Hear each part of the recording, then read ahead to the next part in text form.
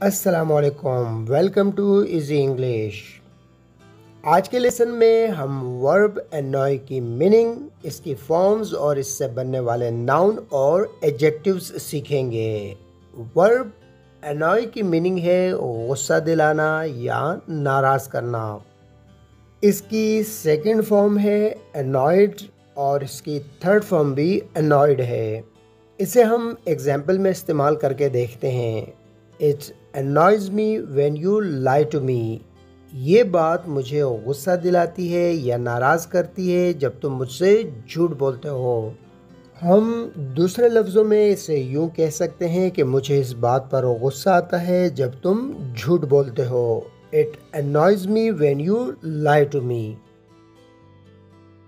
verb annoy سے بننے والا ناؤن ہے انوائنس انوائنس انوائنس کی میننگ ہے ناراضگی یا غصہ اس کی ایگزامپل ہے he pushed the door open in annoyance اس نے غصے میں دروازہ زور سے کھولا he pushed the door open in annoyance آپ اسے یوں بھی بنا سکتے ہیں ہی شاؤٹڈ ان انوائنس وہ غصے میں چلایا ہی شاؤٹڈ ان انوائنس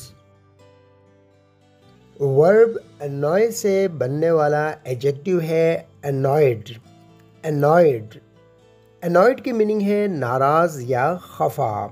مثلا ہی از انوائڈ ود می وہ مجھ سے ناراض ہے. ہی از انوائڈ ود می وہ مجھ سے ناراض ہے یا خفا ہے. ورب انوائے سے بننے والا دوسرا ایجیکٹیو ہے انوائنگ انوائنگ انوائنگ کا مطلب ہے غصہ دلانے والی۔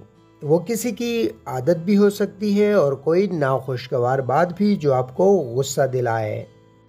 اس کی ایگزامپل ہے the noise in the room was very annoying کمرے میں شور بہت غصہ دلانے والا تھا۔ یعنی وہ شور اس قدر تھا جس کی وجہ سے غصہ آ رہا تھا۔ The noise in the room was very annoying ہم نے سیکھا ورب انوئی کی میننگ اس کی فارمز اور اس سے بننے والے ناؤن اور ایجیکٹیوز اس طرح کے لیسن سیکھنے کے لیے اس انگلش کو سبسکرائب کر لیں۔